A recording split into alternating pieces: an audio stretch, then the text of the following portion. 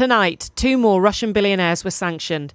Alicia Osmanov and Igor Shuvalov had their assets frozen and were banned from travelling to the UK. De asemenea, într-un comunicat către agenția de presă rusă TASS, Victoria Nuland, subsecretarul de stat al Statelor Unite ale Americii pentru afaceri politice, menționează că sancțiunile se vor încheia doar după ce Rusia va pune capăt războiului și va ajuta la reconstruirea Ucrainei. Sancțiunile se vor încheia dacă va pune capăt acestui război și va ajuta la reconstruirea Ucrainei și la restabilirea păcii, va recunoaște suveranitatea și integritatea teritorială a țării. Nimeni nu mai vrea un nou război rece. Între timp, tot mai multe companii au decizia să-și suspende activitatea în Rusia. Astfel, de la începutul războiului, peste 100 de companii occidentale au părăsit Federația Rusă. Printre acestea se numără giganți americani și europeni din domeniul aviației, al construcției de mașini, companii de electricitate electronice, de îmbrăcăminte sau alimentare. Mai mult, Rusia a fost scoasă din sistemul internațional de plăți SWIFT.